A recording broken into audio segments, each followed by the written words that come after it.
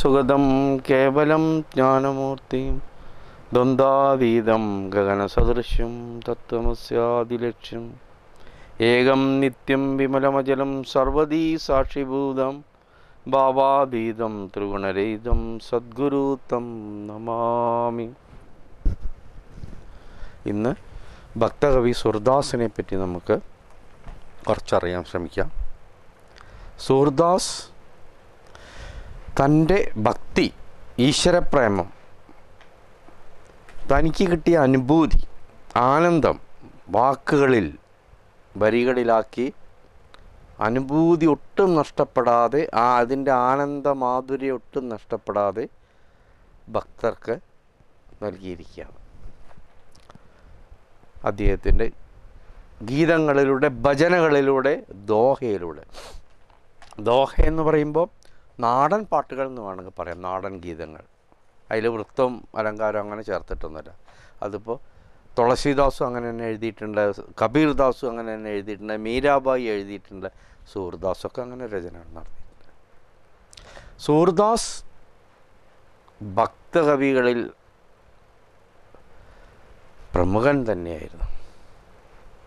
അദ്ദേഹത്തിന്റെ ഓരോ വരിയും അനുഭൂതി പരിപൂർണമാ പൂർണമായിട്ട് ശ്രീകൃഷ്ണ പ്രേമത്തിന്റെ അനുഭൂതി ഉൾക്കൊ അല്ലെങ്കിൽ അത്രയും ആ അനുഭൂതി അനുഭവിച്ച ആ ഒരു വികാരത്തിൽ നിന്ന് എഴുതിയതാണ്. അപ്പോൾ നിരന്തരമായി നമ്മളത് കേൾക്കുമ്പോൾ നമ്മുടെ മനസ്സിലേക്കും നമ്മളറിയാതെ തന്നെ അനുഭൂതി വരും. ഇങ്ങനെ തന്റെ ഇപ്പം സൂർദാസനും ഇഷ്ടംമാതിരി ഭക്തരുണ്ടായിരുന്നു. തന്റെ ഭക്തരെ ഇങ്ങനെ ഭക്തിയിൽ ഇങ്ങനെ ആകർഷിച്ചുകൊണ്ടിരിക്കുന്ന ഗീതങ്ങളായിരുന്നു സൂർദാസിന്റെ സൂർദാസിനെ പറ്റി രണ്ട് അഭിപ്രായമുണ്ട്. ജന്മനാ സൂർദാസ് അന്ധനായിരുന്നു എന്ന്. ചിലർ പറയുന്നു ജന്മന അന്ധനല്ല ചില ഇത്. സൂർദാസ് തന്നെയാണ് അന്ധത സ്വയം ഉണ്ടാക്കിയത് എന്നും പറയുന്നു. കാരണം ഇത് കുറേ പഴക്കമുള്ള കാര്യമുണ്ട്. ഏത് ശരിയെന്നറിയില്ല. മിക്കതിലും പറയുന്നു സൂർദാസ് ജന്മന അന്ധനായിരുന്നു എന്നാണ്. സൂർദാസ് ജനിച്ചത് രാജസ്ഥാനിലാണ്. രാജസ്ഥാൻ ഈ കാര്യത്തിൽ ഒരു പുണ്യഭൂമിയാണ് എല്ലാം പുണ്യഭൂമി തന്നെയാണ്. ഇപ്പം മീരാബായി രാജസ്ഥാനിൽ ശ്രീപദ സൂർദാസ്. നമ്മുടെയും പുണ്യഭൂമി തന്നെയാണ്. എത്രയോ ഇവിടെ ശങ്കരാചാര്യർ മുതൽ ഇപ്പം എത്ര ശങ്കരാചാര്യർ. പിന്നെ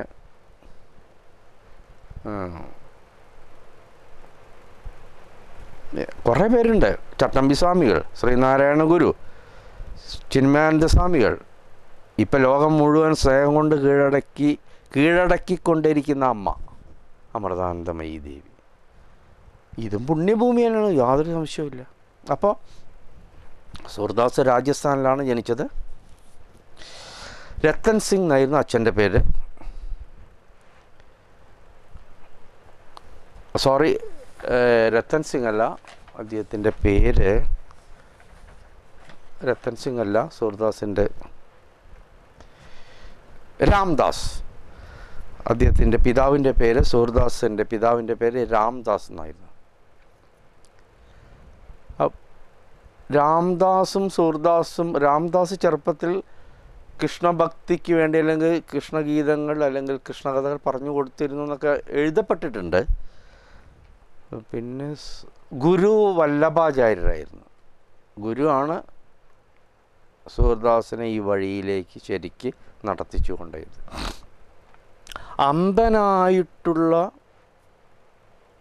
സൂർദാസ് സൂർദാസിന്റെ ഭക്തിയിൽ സൂർദാസിന്റെ പ്രേമത്താൽ കൃഷ്ണപ്രേമത്താൽ കൃഷ്ണഭക്തിയിൽ ശ്രീകൃഷ്ണ ഭഗവാൻ ഒരു ബാലകനായിട്ട് സൂർദാസിനെ എപ്പോഴും അല്ലെങ്കിൽ എല്ലാ സമയത്തും സൂർദാസിന്റെ കൂടെ ഉണ്ടായിരുന്നു എന്നാണ് എഴുതപ്പെട്ടിരിക്കുന്നത്.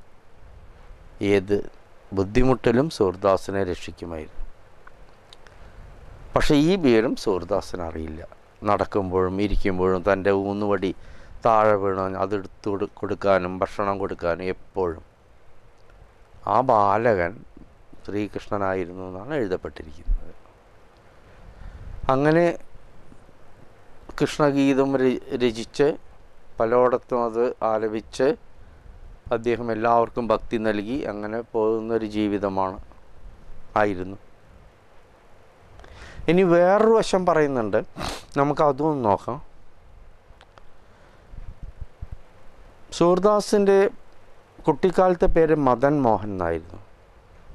അപ്പോൾ മദൻ മോഹൻ നന്നായിട്ട് കവിത എഴുതും. കവിയായിരുന്നു. അന്ന് ഈശ്വര അനുഭൂതി അടങ്ങിയിട്ടുള്ള കവിതകൾ എഴുതാൻ തുടങ്ങിയിട്ടില്ല. ബാഹ്യ സൗന്ദര്യങ്ങളും വ്യവഹാരിക തരത്തിലുള്ള വികാര വിചാരങ്ങളടങ്ങിയ ഗീതങ്ങളായിരുന്നു. ഇവിടേക്ക് എത്തിയിട്ടില്ല. ബാഹ്യ സൗന്ദര്യങ്ങളെ തന്റെ കവിതകളിൽ ഉൾക്കൊള്ളിച്ചുകൊണ്ട് ആ വികാര വിചാര അനുഭൂതി മറ്റുള്ളവർക്ക് പകർന്നു കൊടുക്കുന്ന കവിതകളായിരുന്നു. ഒരു ദിവസം നല്ല ഗംഭീര കവിയായിരുന്നു. ഒരു ദിവസം കവിത രചിക്കുമ്പോൾ ഒരു തടാകത്തിലാണോ? അതോ എന്തായാലും അതോ നദിയിൽ എന്തായാലും അവിടുത്തെ ഒരു പ്രധാനപ്പെട്ട സ്ത്രീകൾ കുളിച്ചുകൊണ്ടിരിക്കുകയാണ് അല്ലെങ്കിൽ കുളിക്കാൻ തടങ്ങുകയാണ്. സൂർദാസ് പറഞ്ഞില്ലേ സൗന്ദര്യം എവിടെ കണ്ടാലും ആരാധിക്കും കവിതയായിട്ട് എഴുതും. അപ്പോൾ സ്ത്രീ സൗന്ദര്യം കണ്ട് ആസ്വദിച്ചതെന്ന് തന്നെ പറയാം. അത് ഭംഗിയായി തന്റെ കവിതകളിൽ ഉൾപ്പെടുത്തി. കവി എന്നിട്ടൊരു കവിത രചിച്ചു. ഈ കവിത ആ സ്ത്രീയെ പാടി കേൾപ്പിച്ചു. ആ സ്ത്രീക്ക് അത് ഇഷ്ടമായില്ല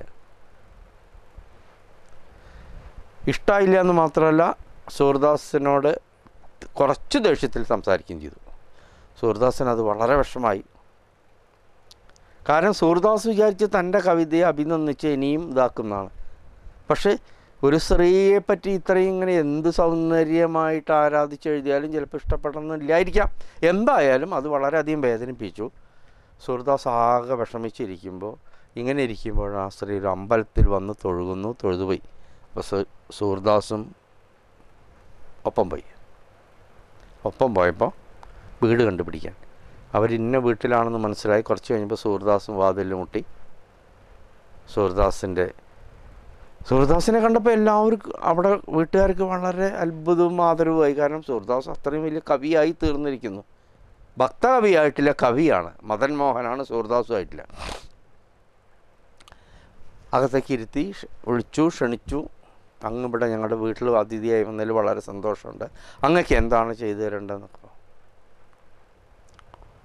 അപ്പം ഇതൊന്നും സൂർദാസ് ഇതിലൊന്നും ശ്രദ്ധ പോയില്ല. സൂർദാസിന് ഒരേ ഒരു വിചാരം തന്റെ ഈ ബാഹ്യമായ കണ്ണുകളാണ് തനിക്ക് ഈ വിഷമുണ്ടാക്കിയത് ഇനി ബാഹ്യ സൗന്ദര്യം ഒന്നും കാണണ്ട. ബാഹ്യമായി ഈ ലോകത്തെ കാണുകയേ വേണ്ട. അന്ന് എന്തോ ഒരു അനുഭൂതി അന്ന് എന്തോ ഒന്ന് ഉറച്ചു. ഇനി ഈശ്വരനെ മാത്രമേ കാണണ്ടു ഈശ്വരനെ കാണാൻ കണ്ണ് വേണ്ട. അത് അനുഭൂതി തലത്തിലാണ് നമ്മൾ അറിയുന്നത്. ആനന്ദതലത്തിലാണ് നമ്മൾ അറിയുന്നത്. അത് കണ്ണേ വേണ്ട. അത് അനുഭൂതിയായിട്ട് ആനന്ദാനുഭൂതിയായിട്ട്. കണ്ണല്ല അതിന് ശരീരം പോലും വേണ്ട എന്നാണ് പറയുന്നത്. കിട്ടിക്കഴിഞ്ഞാൽ അപ്പോൾ ഇതാണ് സൂർദാസിന്റെ ചിന്ത ഇപ്പോഴത്തെ സൂർദാസ് അവരായിട്ട് സംസാരിച്ചു. ഒടുവിൽ പറഞ്ഞു നിങ്ങൾ എന്നോട് ഇത്രയൊക്കെ ആദരവ് കാട്ടണമെങ്കിൽ എനിക്ക് രണ്ട് ചെറിയ ഇതിൽ എണ്ണ ചൂടാക്കി കൊണ്ടാൻ പറഞ്ഞു അവരെന്താന്ന് വിചാരിച്ചില്ല ഇത് എന്താ ഇപ്പം ഇങ്ങനെ പറയുന്നത് എന്തായാലും മഹാകവിയല്ലേ ചൂടാക്കി കൊടു രണ്ടിതിൽ ഇതാക്കി കൊടുത്ത് അവിടെ വെച്ചു. പെട്ടെന്ന് തന്നെ സൂർദാസ് രണ്ട് നിന്നെടുത്ത് രണ്ട് കണ്ണിലാണ് ഒഴിച്ചു. പിന്നെ പറയണോ? ആകെ അവിടെ പൊള്ളി നാശമായി വെന്തുരുകി. പിന്നെ ഈ വീട്ടുകാർക്ക് തന്നെ കുറേ കാലം ചികിത്സിക്കേണ്ടി വരും കാഴ്ച നഷ്ടപ്പെട്ടു. അവിടുത്തെ മുറിവുകളൊക്കെ ഉണങ്ങി പഴുപ്പുകളൊക്കെ ഉണങ്ങി. സൂർദാസ് അന്ന് മുതൽ ഒരേ ഒരു ചിന്ത ഒരേ ഒരു വികാരം ഒരേ ഒരു വിചാരം നടത്തത്തിലും ശ്വസനത്തിലും ഉറങ്ങുമ്പോഴും ഉണ്ണുമ്പോഴും സംസാരിക്കുമ്പോഴും എല്ലാം കൃഷ്ണമയം. ശ്രീകൃഷ്ണനല്ലാതെ ഒന്നുമില്ല. വ്യക്തിപരമായ വ്യക്തിഗതമായ ശ്രീകൃഷ്ണനും അതിന്റെ അപ്പുറത്തുള്ള ഭഗവത്ഗീതയിൽ പറഞ്ഞ ആ ശ്രീകൃഷ്ണ പരമാനന്ദ ചൈതന്യവും രണ്ടുമുണ്ട് ഭഗവത്ഗീതയിൽ തന്നെ ശ്രീകൃഷ്ണൻ പറയുന്നുണ്ട് മൂഢന്മാർ എന്നെ ഇപ്പോഴും മനുഷ്യ ശരീരമായിട്ടാണ് കാണുന്നത്. ഞാൻ അതിന്റെ അപ്പുറമാണ്. ഞാൻ എങ്ങും നിറഞ്ഞു നിൽക്കുന്ന ആ അനന്തബോധമാണ് എങ്ങും നിറഞ്ഞു നിൽക്കുന്ന ആനന്ദബോധമാണ് എങ്ങും നിറഞ്ഞു നിൽക്കുന്ന പരമാനന്ദമാണ് എന്നാണ് ശ്രീകൃഷ്ണൻ. അതാണ് ശരിയായ ശ്രീകൃഷ്ണൻ. പക്ഷേ ജനങ്ങൾ എന്നെ അത് മനസ്സിലാക്കുന്നില്ല. എന്നെ വെറും ഒരു കൃഷ്ണരൂപം നാല് തൃക്കൈകളോടുകൂടി. അതൊക്കെ ഞാൻ തന്നെ പക്ഷെ അതിനപ്പുറമുണ്ട് ഒരു നിലനിൽപ്പുണ്ട്. അതിലേക്കാണ് എല്ലാവരും എത്തേണ്ടതെന്ന് കൃഷ്ണ ഭഗവാൻ ആവർത്തിച്ച് പറഞ്ഞിട്ടുണ്ട്. ഇവിടെ ഭക്ത കവിയായിട്ടുള്ള സൂർദാസനും ഈ അനുഭൂതി അവസാനം കിട്ടി. ആദ്യം ഈ രൂപത്തിൽ ധ്യാനിച്ച് അതിൽ ഭക് അതിൽ നിന്നുണ്ടായ ഭക്തി കൊണ്ട് കാവ്യങ്ങൾ രചിച്ച് വീണ്ടും ആ കൃഷ്ണപ്രേമത്തിൽ മുഴുകി അങ്ങനെ ആ നിരാകാരമായ ആനന്ദത്തിൽ സൂർദാസ് എത്തിപ്പെട്ടു എത്തി അനുഭവിച്ചു. അപ്പോൾ ഇങ്ങനെ ഇനി ഈ ഒരു ആനന്ദം കിട്ടാൻ ഈ ഒരു നിർവൃതി കിട്ടാൻ ഈ ഒരു അനുഭൂതി കിട്ടാൻ എനിക്ക് ബാഹ്യമായ കണ്ണുകളുടെ ആവശ്യമില്ല. അതെനിക്ക് ബുദ്ധിമുട്ടാണ് ഉണ്ടാക്കുന്നത്. അവിടെ നിന്ന് അങ്ങോട്ട് പിന്നെ എപ്പോട്ട എപ്പോഴും ഒരേ ചിന്ത മാത്രം ഒരേ വികാരം മാത്രം ഒരേ വിചാരം മാത്രം. ശ്രീകൃഷ്ണ പ്രേമം ശ്രീകൃഷ്ണ ഭക്തി മീരാബായിയുടെ അതേമാതിരി തന്നെ. ഏതാ ഒരു ത്രാസിൽ വെച്ച മീതെ താഴെ നമുക്ക് പറയാൻ പറ്റില്ല. അത്രയും ഇതായിട്ട്. അങ്ങനെ അനേക ഗീതങ്ങൾ രചിച്ചിട്ടുണ്ട്. അതിൽ വളരെ നമുക്ക് പ്രയോജനപ്പെട്ടത് അല്ലെങ്കിൽ ഏറ്റവും നമുക്ക് പ്രയോജനപ്പെട്ടതല്ല ഏറ്റവും ഗംഭീരമായിട്ടുള്ളത് സൂർ സാഗർ എന്ന മനോഹരമായ ഗീതമാണ്. സൂർ സാഗർ. ആ അതിന് ഓഷൻ ഓഫ് മെലോഡി എന്ന് തന്നെയാണ് പറയുന്നത്. അത്രയും മനോഹരമാണ്. സൂർദാസ് അത് രചിച്ചു. പിന്നെ സൂർദാസ് ഇവിടെ വൃന്ദാവനത്തിലായിരുന്നു മിക്ക സമയം കഴിച്ചു കൂട്ടിയിരുന്നത് ഗാനങ്ങൾ ആലപിച്ചിട്ട് അങ്ങനെ അവരുടെ കൂടെ കഴിയും. ഭക്തർക്ക് തന്റെ ഒപ്പമുള്ളവർക്കും എല്ലാം അങ്ങനെ എല്ലാ കാര്യങ്ങളും കവിതയിലൂടെ പറഞ്ഞു കൊടുക്കും.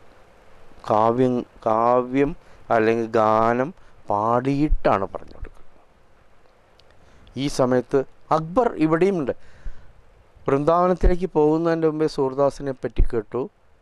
എന്നിട്ട് ടാൻസിനെ പറഞ്ഞിരിക്കുകയാണ്. സൂർദാസിനോട് ഇങ്ങോട്ട് രാജകൊട്ടാരത്തിലേക്ക് വരാൻ പറയും. സൂർദാസ് ആ ക്ഷണം സ്വീകരിച്ച് രാജകൊട്ടാരത്തിലെത്തി. വളരെ ആദരവോടെ പിടി ഇരുത്തി. എല്ലാ തരത്തിലുള്ള ബഹുമാനം നൽകി. സൂർദാസ് അവിടെ ഒരു മനോഹരമായ കൃഷ്ണഗീത ആലപിച്ചു. ഇവിടെ മീരാബായിയുടെ അതേത് ആലപിച്ച ആ ഒരു ശബ്ദം കേട്ട് ആ ഒരു നിർവൃതി മനസ്സിലുണ്ടായിരുന്നു. അക്ബർ ചക്രവർത്തിക്ക് അക്ബർ ചക്രവർത്തി അങ്ങനെ അതിൽ ലയിച്ചു.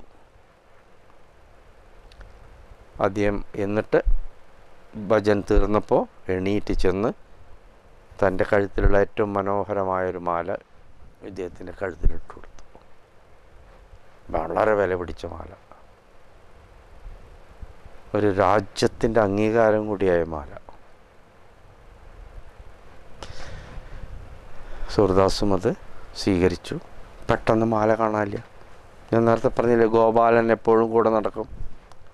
ആ കുട്ടി എപ്പോഴും സൂർദാസിന്റെ കൂടെ ഉണ്ടാവും. നമുക്ക് കാണാൻ പറ്റില്ല. അവിടെ ഉള്ളവർക്ക് കാണാൻ പറ്റില്ല.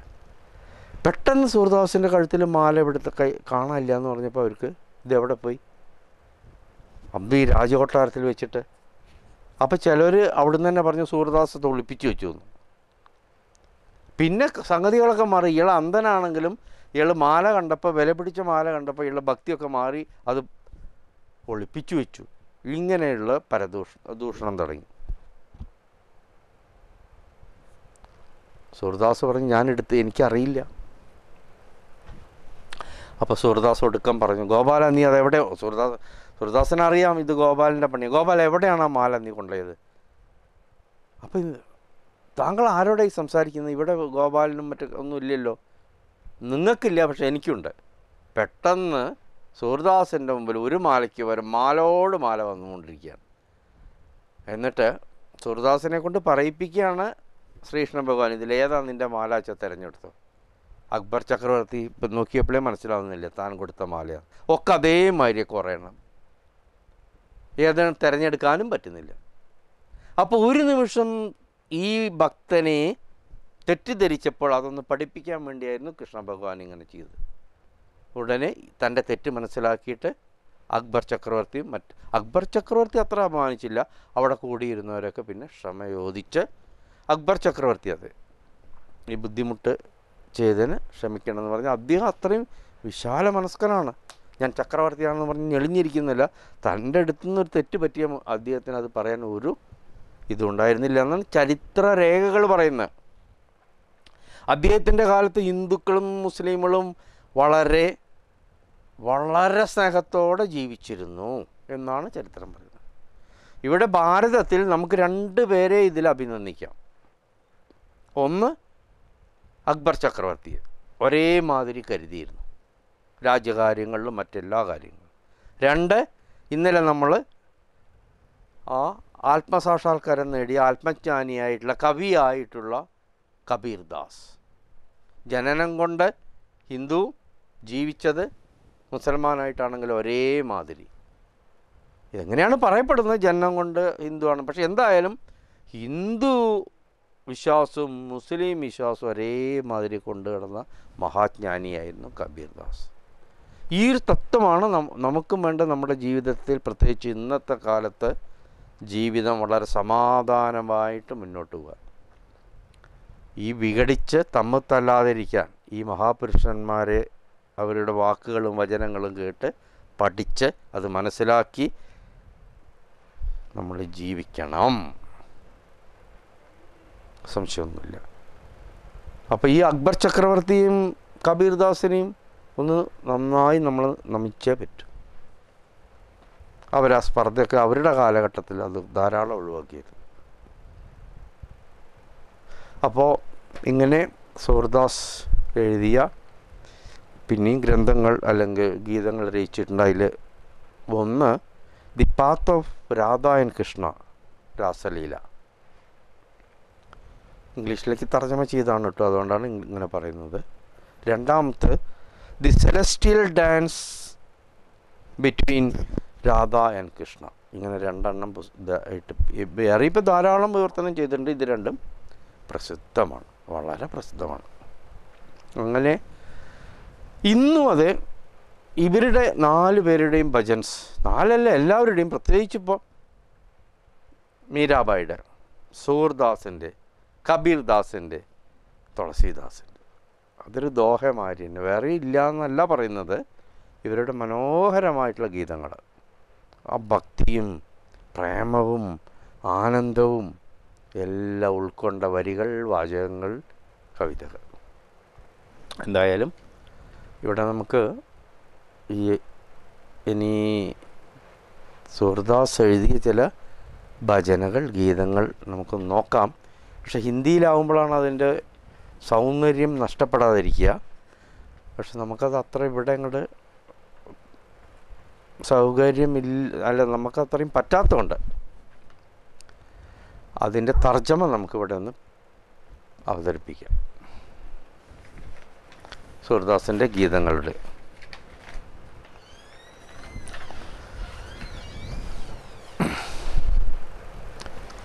ഇവിടെയും ഈശ്വരനെ അന്വേഷിച്ചു പോകുന്ന ഒരു സാധകന്റെ തീവ്രമായ വികാര വിചാരങ്ങൾ ഉൾക്കൊണ്ടത് തന്നെയാണ് സൂർദാസന്റെ ഭജനകൾ. അത് നമുക്ക് അടുത്ത എപ്പിസോഡിൽ നിന്ന് ചർച്ച ചെയ്യാം. ഇവിടെ ഈ എപ്പിസോഡ് അവസാനിക്കുകയാണ്. നിങ്ങൾക്ക് എല്ലാവർക്കും എന്റെ നമസ്കാരം.